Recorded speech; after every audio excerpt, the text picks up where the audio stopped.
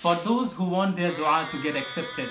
Once Umm Sulaim radiallahu ta'ala anha came to the Prophet Muhammad sallallahu alayhi wasallam and said, Ya Rasulullah, teach me some words that I may supplicate with. So he sallallahu alayhi wasallam said, Tusabbihin Allah ashran. Glorify Allah by saying Subhanallah ten times. وَتَحْمَدِينَهُ عَشْرًا And praise Him by saying Alhamdulillah ten times. وَتُكَبِّرِينَهُ عَشْرًا And magnify Him by saying Allahu Akbar ten times. ثُمَّ سَلِي حَاجَتَكَ And then ask for what you need. فَإِنَّهُ يَقُول He will say, I have done it, I have done it.